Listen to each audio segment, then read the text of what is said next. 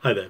We're continuing our journey through the Psalms, and today we're in Psalm 19 in Hebrew Tehillim Yud Tet, uh, the, the numerals Yud and Tet for 1 uh, for 10 and 9 19 and this is a psalm superscribed lamnatzeach to the chief musician and it's le david and it's according to david's tradition it's davidic so this psalm is divided into three.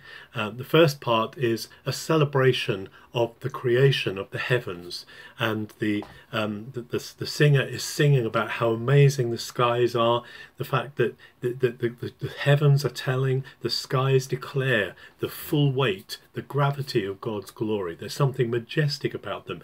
he says there's no speech, there's no tongue, there's no language where they're their glory is not known. And he says these just point to the, the greatness of this creator. The sun, like a bridegroom, going out of his house to get his bride.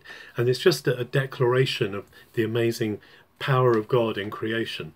And then in the second section, it moves on to, to extolling the the ways of God and the things that God has provided. The law of the Lord is complete and whole. The, the, the, the testimonies of the Lord are sure. The fear of the Lord is clean. He's saying all of these things. God is so pure. God is so holy. And his ways are so holy. And he says, um, in keeping them, there is great reward, and they're sweeter than honey to his lips. He's just got such a, a love and a desire for the instruction, for the ways of God.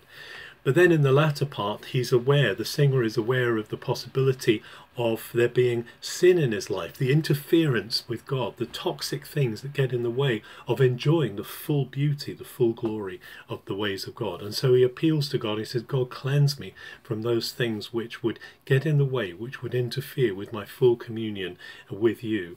And in the last, uh, the, the, the, last verse, he says, May the, the, the words of my mouth, the meditation of my heart be acceptable in your sight, O Lord, my rock, my redeemer, my God and my redeemer. So it's a wonderful, beautifully formed psalm, beautiful thoughts in it. And today, as we go through our day, as we wonder at the amazing creation that God has put around us, as we consider the beautiful ways of God, let us also, with the singer, be able to say, Let the words of my mouth and the thoughts of my heart, the reflections of my heart, be commensurate with these ways of yours, be acceptable in your sight, O Lord my God, my rock and my redeemer. Have a good day.